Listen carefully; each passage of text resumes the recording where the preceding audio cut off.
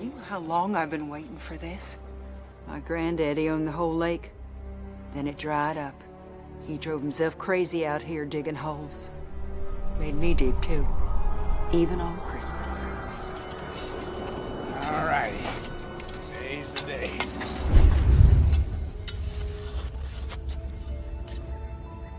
I'm tired of this, Grandpa. That's too damn bad! You keep digging! Well, excuse me. You'll thank me one day.